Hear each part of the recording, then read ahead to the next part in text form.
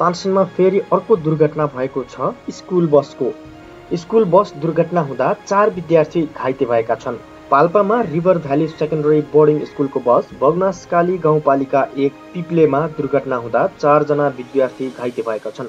विद्यार्थी लिएर विद्यालयतर्फ जाँदै गरेको लु एक ख पन्ध्र अन्ठाउन्न नम्बरको बस पिप्लेको ओह्रालोमा ब्रेक फेल भएर दुर्घटनामा परेको हो। बसमा सत्ताइसजना विद्यार्थीहरू रहेका थिए।